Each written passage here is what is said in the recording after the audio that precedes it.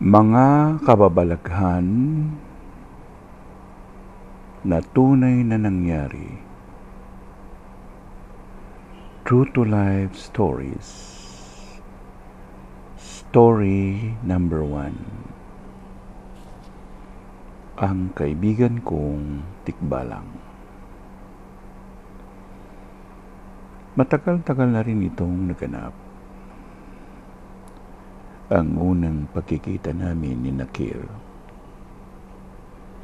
Isang teenager na tikbalang. Bago pa ito naganap,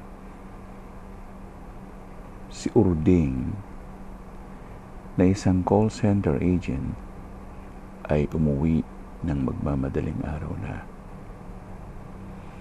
Siya ay nag-aabang ng taxi sa kahabaan ng Julia Vargas malapit sa Meralco Avenue. Yun ang naalala pa niya. Mahigit isang taon siyang nakomatos. Patapos ang panahon, nagising si Urding. Sa tulong ng kaibigan, kaibigan niyang isang psychic din na si Tess, nakilala ko si Uding.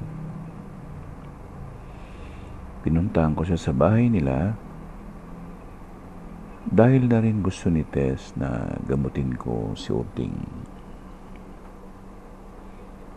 In-interview ko si Uding. Ang tanong ko sa kanya, anong natatandaan niya bago siya mag-pass out? Ang alam lang daw niya ay nagabang siya ng taxi sa Meralco Avenue, malapit sa Julia Vargas sa Pasig City. At yung magising na, nasa ospital na siya ng Pasig Medical City. Nabangga siya ng cancer. Ang sabi ko, nag-aabang siya ng taxi ang dapat tamaan sa kanya ay kaliwang parte ng katawan niya. Eh, hindi. Sabi ko, paano ang tinamaan sa iyo ay ang kanan mo? Nag-about face ka? Para sa kanan ka masapol ng kanter? Subaybayan ang ikalawang bahagi.